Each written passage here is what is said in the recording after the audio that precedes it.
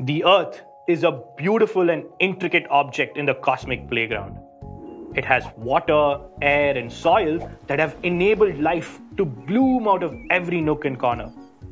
It has winds that blow and seasons that change. It has days and nights and a lot, lot more. But let's suppose this wasn't so. What do you think would happen if the world stopped going round and round? Well,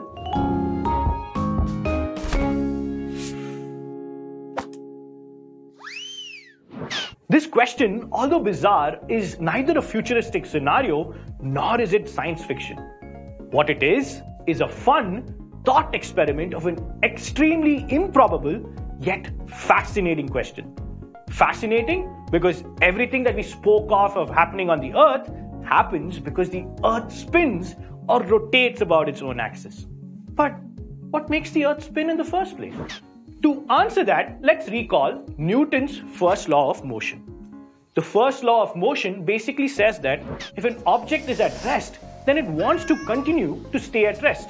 Or if it's in motion, it wants to remain in motion with the same speed and in the same direction unless an external force acts upon it. This behavior is what we term as inertia. So, getting back to our earlier discussion, the Earth, the Sun, and the whole solar system experiences no external force.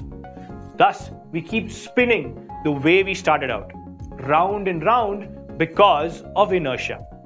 Now, back to our original question What if the Earth stopped spinning? Well, for starters, when the Earth suddenly stops from a crazy speed of about 1700 kilometers per hour, the effects will be, well, apocalyptic.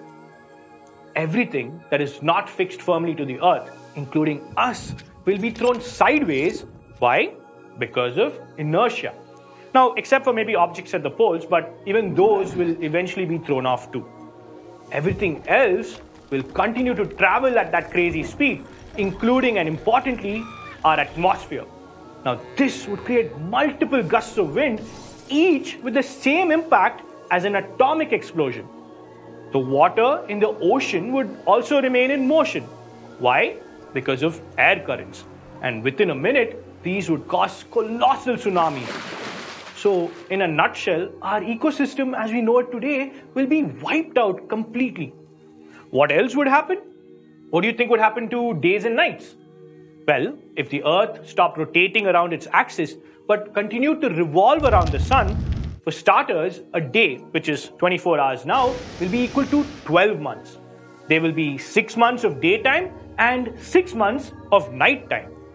In the daytime, the side facing the sun would bake to a crisp due to the constant heat of solar energy, while the side facing against the sun would see temperatures plummet. This would result in giant storms that would rage for a long, long time. Now, this was just a hypothetical scenario, right? And we haven't even seen 1% of the things that would actually go wrong if the Earth were to suddenly stop spinning. But it is true that the Earth is slowing down. According to a study, a day is getting longer by 2.3 milliseconds every 100 years. And in about 100 million years from now, a day will be longer at 25 hours. But for the Earth to really slow down and stop spinning altogether, it would take ages and eons. Who's to say we'll even stick around till then? Right now, my life hasn't stood still, and I have more pressing problems to address, like what to eat for lunch today, or why I forgot to charge my phone last night. Cut! Hey, uh, do you have a charger that I can borrow by any chance? To understand and learn more concepts this way, all mapped to your syllabus, download Byju's the learning app. Hey guys, I still need that charger. Anybody? Anyone? Guys, power bank?